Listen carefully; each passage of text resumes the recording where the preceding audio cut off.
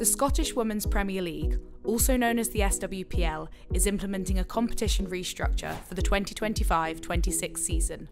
At present, the SWPL contains 12 clubs and SWPL2 contains 8. This change will see both the SWPL and SWPL2 operate with 10 team leagues from season 2025 26 onwards. In this video, we will explain the data behind the restructure, the feedback from our clubs, why this restructure is necessary, and how the changes will be implemented. So, what are our clubs telling us, and what does the data show us? Feedback from many of the SWPL's member clubs is that there are too many games. Based on research, the data showed us that the SWPL had the second highest number of games across the World Leagues and the highest number of domestic matches in Europe. The impact of this is felt by all, but even more so on clubs and players who play internationally within the UEFA Women's Champions League and or those who reach the latter stages of domestic competitions. We currently have a number of midweek matches across the season, which has allowed us to maintain a winter break for both the SWPL and SWPL2, as well as to manage postponements promptly. However, for a number of reasons, they remain a challenge for the majority of SWPL clubs. We also track attendances and know that it appears to be harder for fans to get along to midweek fixtures. We noted the club feedback that keeping midweek matches to a minimum was preferable. The feedback we received from SWPL2 member clubs was that while the number of games was about right, the current format was too repetitive. At present, each club in SWPL2 plays the other seven clubs four times each. They saw the excitement caused by the split in the SWPL and fed back their desire to introduce this, as well as increase the variety in the fixtures. The SWPL2 is very competitive, and clubs participating told us that they would like to see an extended playoff system. This would provide more clubs with the opportunity to reach the playoffs and ensure that every game matters until the final league match of the season.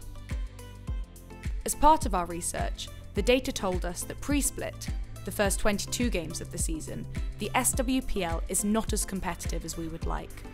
The number of matches with a goal differential of 3 and 5 goals is significantly higher compared to the European average.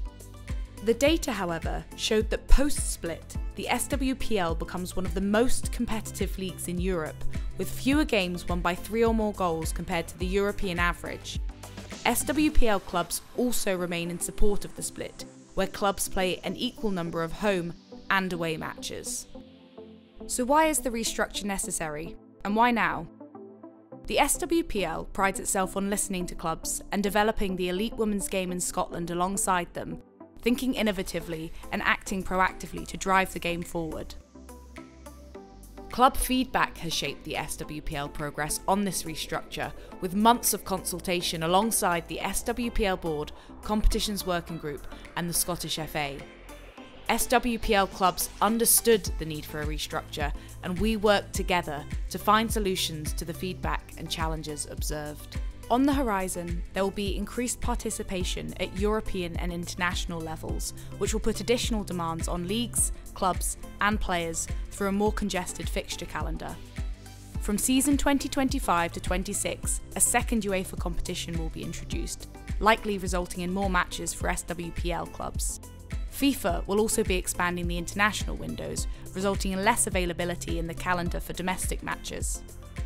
Maintaining the current structure, in light of these imminent changes, is simply not viable. It would put an unnecessary strain on both clubs and players, which ultimately would have a detrimental impact on our game. So, how will these changes be implemented? As outlined at the start, the 2025 26 season will see a 10 team SWPL and a 10 team SWPL2. But for this to happen, there will be a number of changes to the promotion and relegation places for the 2024 25 season.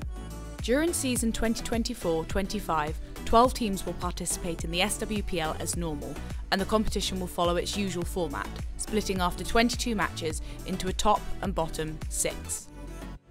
The bottom three clubs at the end of the season, in positions 10, 11, and 12, will be automatically relegated to SWPL 2.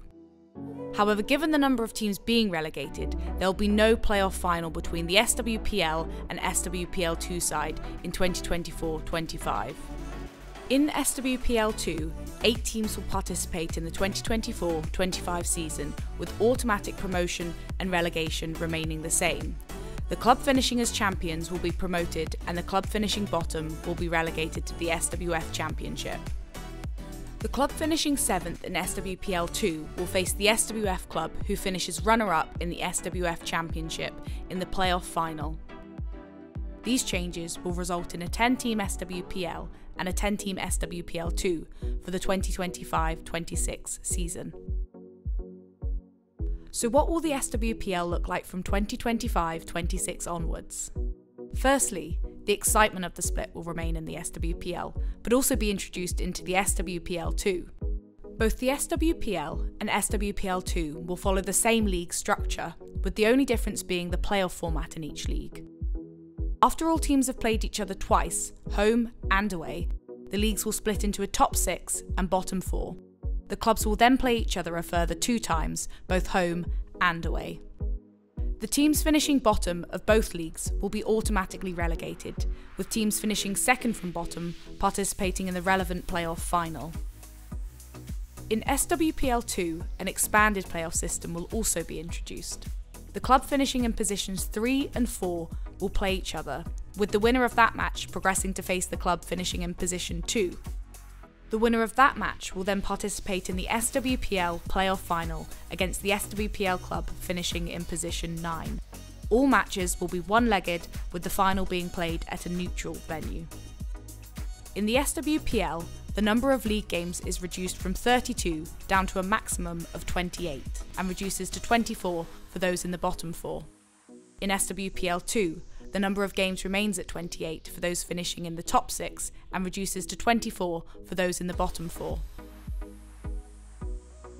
In conclusion, this restructure aims to ensure greater league competitiveness, which is in line or ahead of European averages, reduce the number of fixtures for clubs in light of the data and feedback illustrating that we play more games than every other European nation reduce the loading on existing players, and make the SWPL a more attractive proposition for incoming players.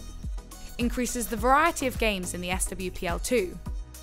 Introduces an extended playoff system, providing more opportunities for clubs to participate in those exciting end of season matches.